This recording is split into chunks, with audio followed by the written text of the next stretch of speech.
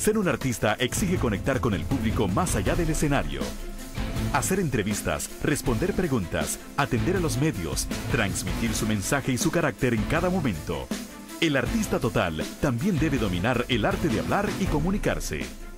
Pienso que lo que hay que hacer es acostumbrar a los muchachos a que estar preparados para que cualquier pregunta que le hagan a uno, uno la debe contestar.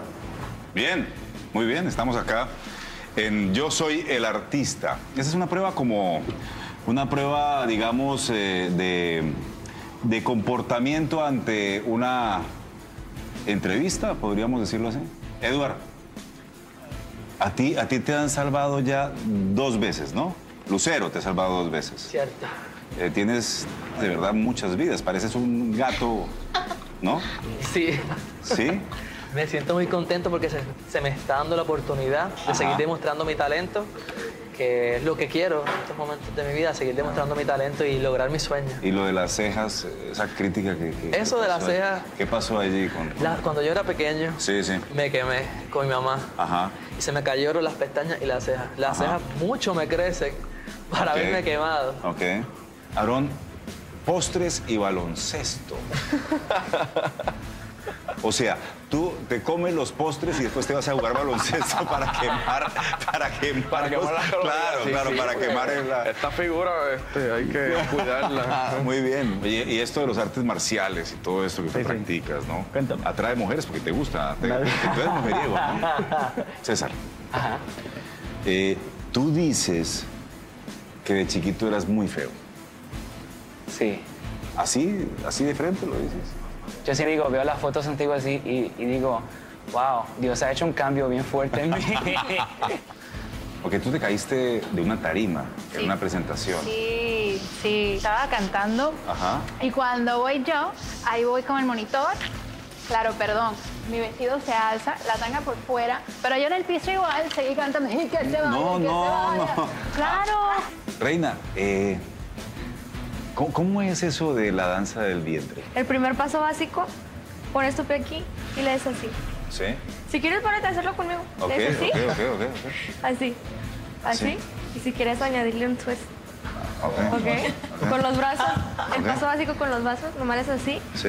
Y luego como que le das Sí. un güey. Eso, eso. Ahí va, ahí va. Mover tu ahí va. vientre. Va. Eh, Eso, ahí va. Eso, ahí va, va, ahí va. Si ahí quieres va. eso lo puedes practicar ahí en la noche con tu... Ok, con mi esposa, muy bien. Ándale. Eso, su eso es. regalo. Eh, Envy, ¿tú eres spin-up? Spin, spin. Pin-up es eh, con los rollitos, todos los 50, el tipo de carro, el tipo de música, eran artistas, eh, eran cantantes de verdad en esa, en esa época, me encanta todo eso. Ah, ok. Sí. Génesis, eh, tú además de estrechar muy fuerte la mano, estudias psicología. Eso Por eso es estudia, por eso es que aprietas fuerte la mano para saber cómo reacciona uno ante eso. Exactamente. Entonces tú me apretaste la mano, me apretaste la mano. Yo dije, Dios mío, ¿quién es ella? Qué susto. Qué susto. No, no quería esa reacción. Ok, ok, pero jugaste con mi mente. Exacto. David. David, ¿por qué no te gusta bailar? Ah, porque tengo dos pies izquierdos.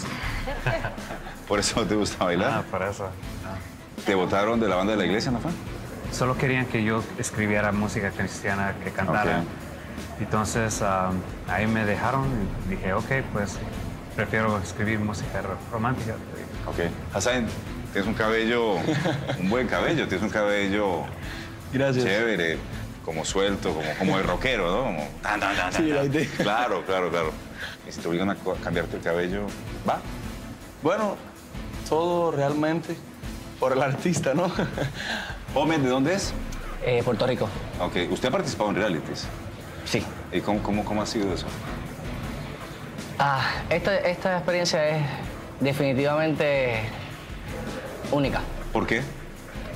Cuando fuimos a la, a- allá a cantar a, a los estudios y estaban los influencers de frente y tenías que estar. Te puedo decir que honestamente estaba cuando más en mi vida he estado asustado fue ahí. ¿Y este va a ser el último? ¿El último reality? Yo creo que sí, Ok, de verdad. Ya soy un poquito no mayor, pero ok. ¿Y Josué, ¿te, te- tuviste algún problema hoy? Pues sí, este, pues no sé por qué específicamente, pero me dio una ronquera, ronquera fatal. Carlos, tú has cantado todo.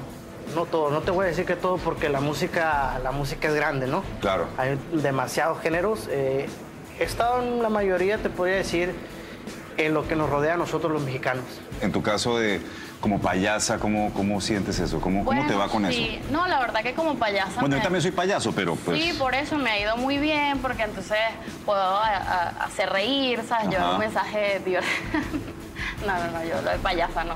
Cuando les armaron el set y cuando yo me senté allí, ellos se sintieron en un talk show, entonces fueron felices. Porque muchas veces los veían, veían los talk shows y, decían, yo quiero estar ahí, yo quiero ser ese, yo quiero ser entrevistado. Entonces fue para ellos una cosa rica, una cosa agradable.